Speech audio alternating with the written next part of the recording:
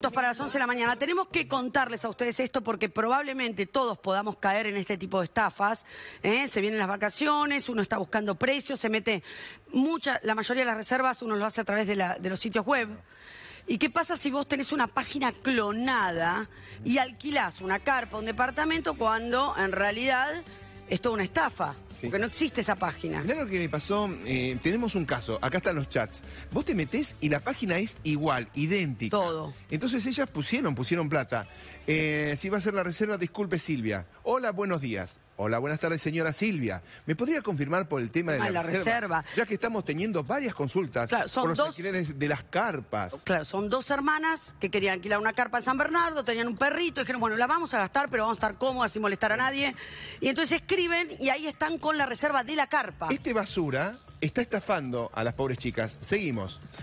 Porque la página es igual. Entonces te dice la reserva, te muestran fotos. Es una web melliza. Sí. Así se la conoce. La, la estafa fue por casi 100 mil pesos.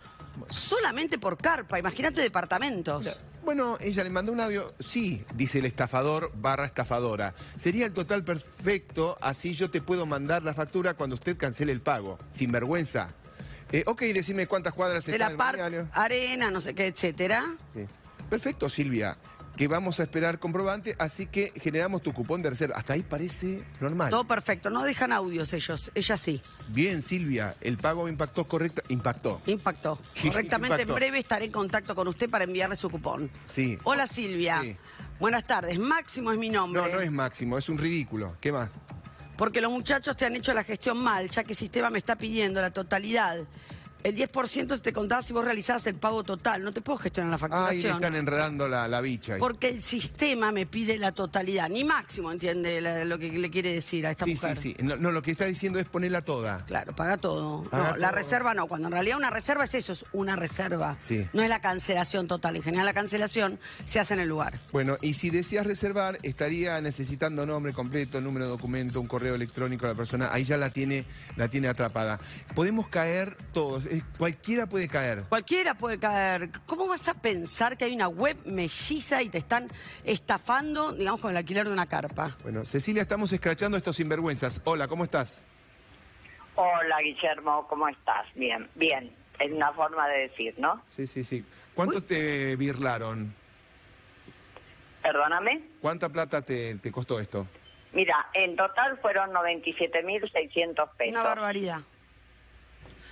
Una barbaridad. Y, eh, si me dejan agregar al- algo, es decir, el tema, es decir, el tema de estos desgraciados, eh, y nos dimos cuenta, es decir, primero, eh, como ustedes bien los escuché que comentaron al público, eh, cuando se conectó mi hermana, porque en sí la que se conectó fue mi hermana Silvia, que buscó en internet balnearios en San Bernardo apto mascotas, y bueno, vio este aloja, porque le sonaba el nombre, y bueno, y se contacta con el número que figuraba en la página, habla con este Pablo, y eh, bueno, le dice todo, bueno, dice, tenés que abonar el 50%, como era por adelantado, bueno, nos hicieron el 10% de descuento, y dijo, bueno, mañana te lo transfiero.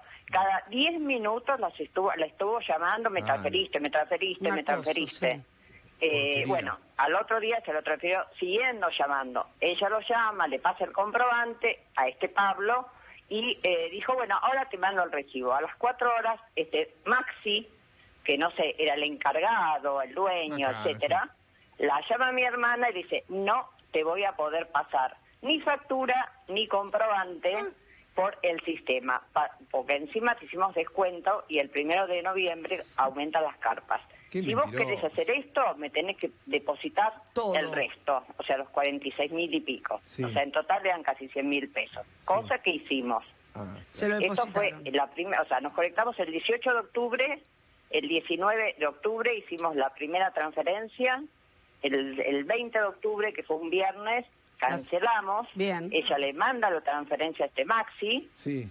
lo llama por teléfono, le dice, sí, está todo bien, eh, eh, ya te voy a mandar el comprobante. A partir de ese momento no tuvimos ninguna respuesta. Ahora bien, antes de girarle el 50%, mi hermana se acuerda que una prima nuestra eh, durante 20 años siempre iba a San Bernardo y por eso le Ah. sonaba el balneario. La llama.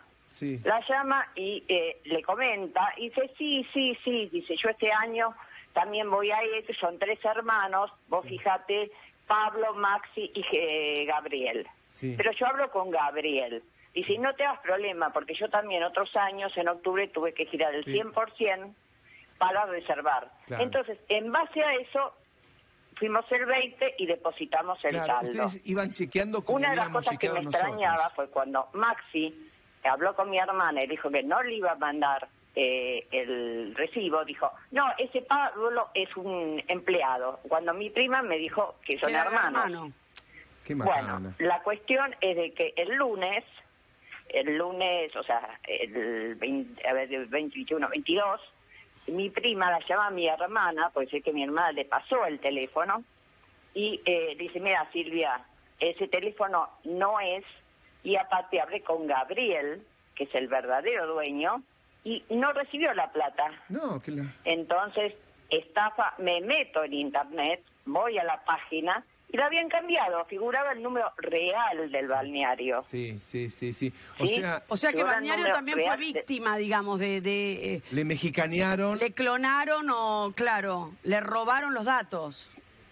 Exactamente, yo con Gabriel, o sea, el verdadero dueño, estamos en contacto directo. Y te digo más, alquilamos realmente en Aloja, el verdadero Aloja, porque es bárbaro y Gabriel es genial, el Sí. dueño, eh, y me comentó que ellos estaban haciendo la misma estafa de balnearios desde Sí. eh, San Clemente hasta Valeria del Mar. ¿Y Mira. ¿Sabes qué, Cecilia? Está llegando a tener la gente denuncias de que hay granujas que hacen esto, pero con departamentos.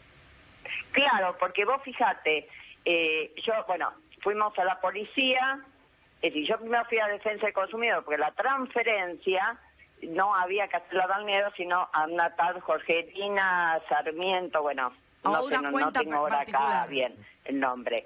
Y lo que no nos dimos cuenta, porque eh, cuando fuimos al banco, Bueno. que nos dijeron que el, el número del CBU, o sea, primero que no decía CBU, decía CBU pero con B corta. Y eso Bueno. significa una eh, plataforma no bancaria, o sea, Ah. Naranja, Mercado Pago, etcétera, etcétera. Cecilia, Entonces, eh, ¿Recuperaste entre el la banco plata? no podemos hacer nada, en la policía sí hicimos la denuncia, pero contra esta persona, Jorgelina, ¿Recuperaste la porque otra plata? cosa no se podía hacer.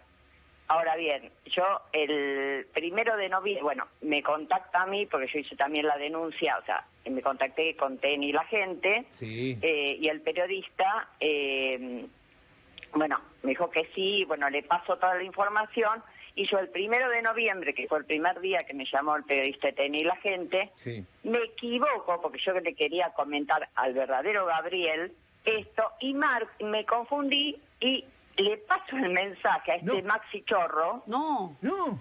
sí. ¿Y entonces? Y cuando me doy cuenta, lo elimino. Ah, Ahora, ¿qué pasa? Este. Maxi Chorro Maxi Chorro. Maxi me Chorro. manda un mail ofreciéndome un hotel, hotel, departamento, etcétera, ¿ves? Ya etcétera. estaba estafando con otra O sea, cosa.